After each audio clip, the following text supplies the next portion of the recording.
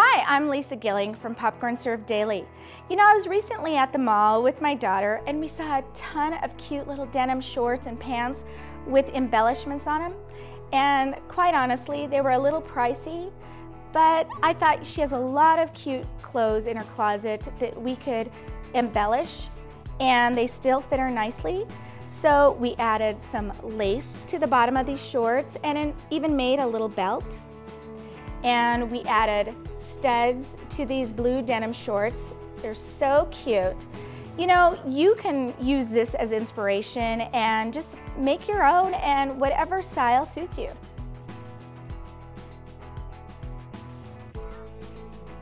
The great part about this project is that you don't need to sew. Just use fabric glue to attach the lace or embellishment.